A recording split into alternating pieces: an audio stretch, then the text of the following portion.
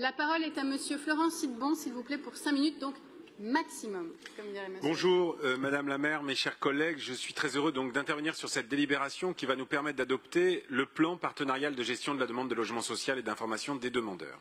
Ce document essentiel nous rappelle en effet que la politique ambitieuse et novatrice que nous menons depuis euh, de nombreuses années, avec euh, une accélération depuis 2014, sert d'exemple, inspire bon nombre d'évolutions juridiques et législatives au niveau national.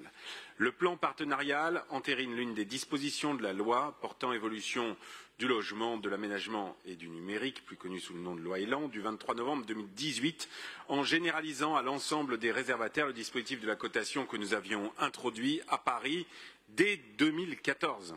Je le rappelle, ce dispositif constituait l'une des promesses de campagne emblématiques de la maire de Paris lors des élections municipales de 2014 et visait à doter notre ville de règles d'attribution transparentes des logements du parc social parisien. Et ce dispositif, nous pouvons en être fiers puisqu'il nous a permis de mettre un terme définitif aux pratiques euh, qui étaient euh,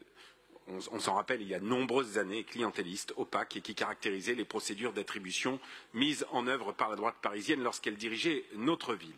Ces pratiques clientélistes et opaques n'étaient évidemment pas seulement en vogue dans notre ville, mais bien dans l'ensemble de notre pays, et je me félicite donc de la généralisation de la cotation à l'ensemble des réservataires du parc social, il était temps. La cotation que nous avons mise en place en 2014 nécessitait néanmoins certains ajustements qui ont fait l'objet d'une longue concertation entre la ville de Paris, les maires d'arrondissement, les bailleurs sociaux, les organismes financeurs du logement social et les associations de défense du droit au logement au sein de la conférence parisienne du logement. Et je tiens d'ailleurs à remercier, bien sûr, Yann Brossac qui a mené à bien ces concertations et qui incarne cette politique particulièrement ambitieuse que nous menons en matière de logement depuis bientôt dix ans, euh, euh, vingt ans maintenant.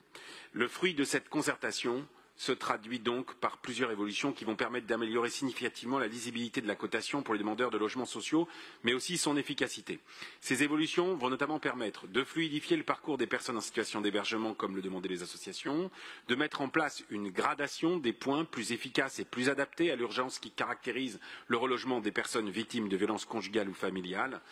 euh, de faciliter le relogement des personnes en situation de handicap qui bénéficieront d'une cotation doublée lorsqu'elles justifieront de leur, situation dans leur dossier. Et j'ajoute d'ailleurs que les ménages labellisés DALO au titre du handicap bénéficieront également de points supplémentaires et qu'une pondération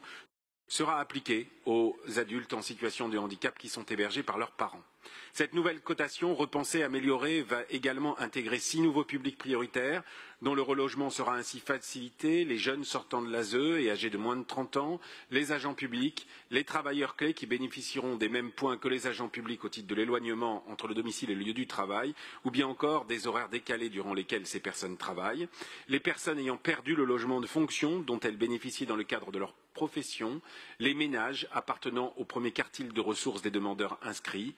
et les ménages reconnus prioritaires au titre, bien sûr, du euh, droit au logement opposable. Outre la mise en place de cette cotation unique et les nombreux avantages qui vont ainsi bénéficier aux publics les plus fragiles, le plan partenarial va permettre de préciser le circuit d'accueil et d'information des demandeurs de logement, mais aussi les dispositifs d'accompagnement social des demandeurs. Et le plan partenarial va enfin mettre en avant les dispositifs spécifiques mis en place à Paris par les différents réservataires sur la mutation dans le parc social et la location euh, euh, voulue.